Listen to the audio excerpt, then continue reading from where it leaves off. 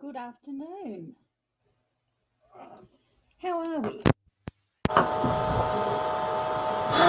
Today I want to talk about things that we seem to go through again and again and again. And suddenly we realize, hmm, this feels very familiar. As I came across this saying today, all of life's great lessons present themselves again and again until mastered. And that is so true. How many times have you done something, seen something, heard something, experienced something, and there's a little bell goes off and you go, ooh, this is a bit deja vu. It's not actually coincidence. We are here in these lives to learn how to master various things. I know I've experienced certain things in lots of different jobs. And when I look at them, I suddenly go, ah, right, that's what it is. I've got to come to terms with dealing with people who treat me badly. Uh, learning to put myself out there. Learning to be strong. Learning to stand up for other people. Learning to stand up for ourselves. And that's the big one learning to stand up for ourselves. The amount of times most of us will go through situations that are trying to teach us the same lesson time and time again. And it's not until we've actually got them mastered that we move on to something else. Absolutely narky serendipity is what it could be called, but it's always about the fact that we've got to learn a lesson. That's no different than learning to ride a bike. Let's be honest, you only learned how to ride a bike by doing that same thing time and time again. It was called practice. Well, life based lessons, in fact, want us to practice getting things right and learning how to deal with things in the best possible way. So that's why the same scenarios keep getting presented. That's why you can have various life moments. Oh, thank you, Bucky. Various life moments that just keep coming back. In various ways. I think of all my observations over years.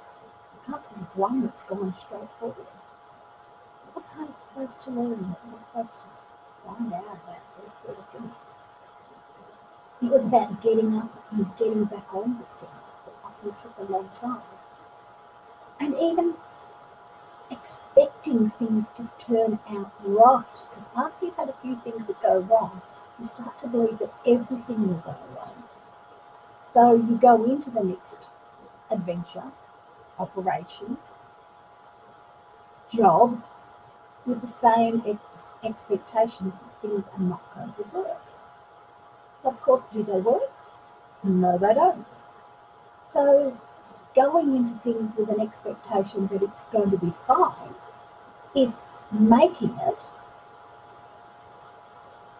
so much different to when you kept going in going, oh, this is going to fail. Because when you think something is going to fail, guess what?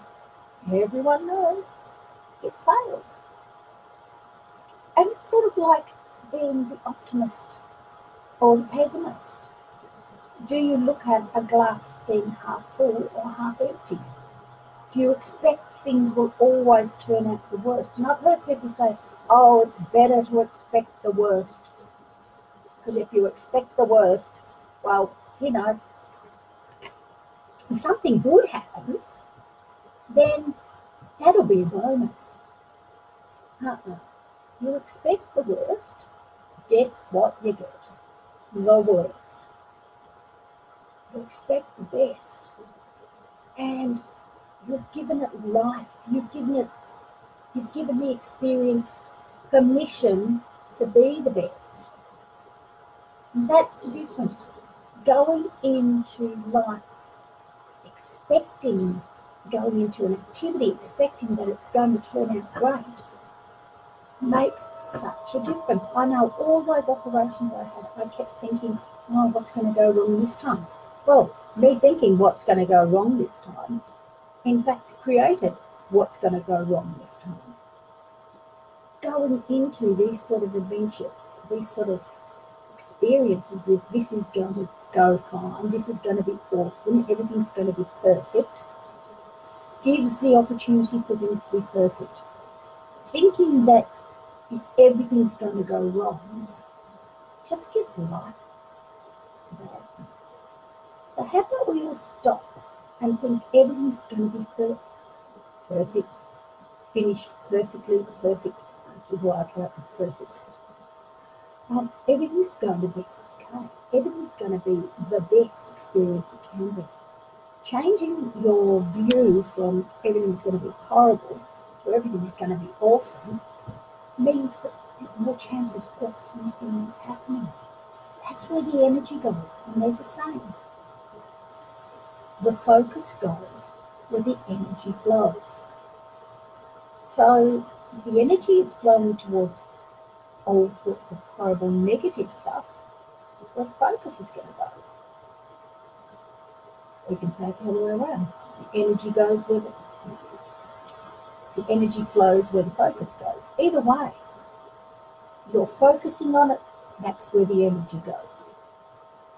When you put your energy into positive outcomes, if you put your energy into things are going to be fine, that's where your focus will be.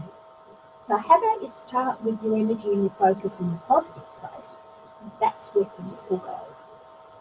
It took me a lot of years to realize I actually have to think positively about what was coming. I used to always be caught up in the, oh, what could go wrong? So, how many go wrongs, shall I call it, could I create? Many, many, many. So, what is it that you put your energy into that's looking at the negative, that's looking at things going wrong? When you start a new job, do you expect it to be awesome? Or do you expect that someone is going to do to you what happened last time? Do you expect that there's going to be assholes there? And guess what? There's going to be assholes there. Or do you expect that this is going to be absolutely amazing and you're going to learn some amazing new lessons and focus on those things? And maybe those assholes just won't come. They won't come. That's what I want you to do. Um, I want you to focus on what perfect things can happen. What great lessons can you get from this experience? Because I went through about five jobs where the same thing kept happening time and time again. Different people, slightly different scenario. But when you boil down the actual essence of them, it was the same. Only, excuse me, hmm, sorry about that. It's only when you stop and realize you create the world you live in. So if you want things to turn out really good, if you want things to be perfect, you've got to put the energy where You've got to start looking for the great lessons, looking for the awesome moments, looking for the things, not focusing on when's it all going to fall apart. You focus on when it falls apart, it will fall apart. So turn your focus on what can I learn in this experience? What lessons will I get from this that will make my life even better? turn the focus from those dark things that you seem to focus on towards what is good about this? What what can I input to this to make everybody's experience better? Turn the energy around start looking for the good things instead of focusing on the not so wonderful things, focusing on the things that happened to you last time and the time before and the time before. And start looking at this is going to be awesome.